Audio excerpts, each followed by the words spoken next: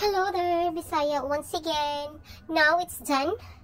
This, uh, uh, ito na yung ribs natin. Malinis na. And uh, kinat ko yung ibang fat. Ito yung kailangan. Ito yung mga sangkap na kailangan natin para sa ribs.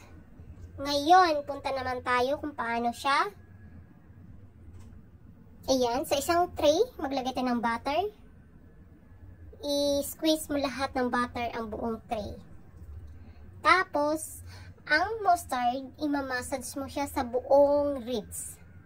Siyempre lahat, lahat ng buong uh, ribs kailangan lagyan.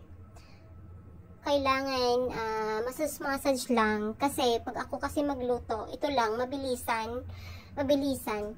Parang kasi galamay ko na siya. Pero hindi naman ako expert sa pagluluto. Pero may mga diferensya ang pagluluto ko sa mga uh, ibang pagluluto.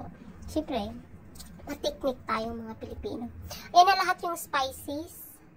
Hinalo ko para mabilis na siyang ilagay sa ribs. Ayan na, tapos na siya. Pero, syempre, yung ibang cut na fat, ilalagay ko siya konti. Yan, para siya maluto din siya dyan kasi para magbigay ng extra oil. Extra, ano siya, extra oil. Kasi I love fat. That's the reason. And now, we need to put in the oven. The oven is already I check like that. Now this is the result. Crispy brown and soft. Bye bye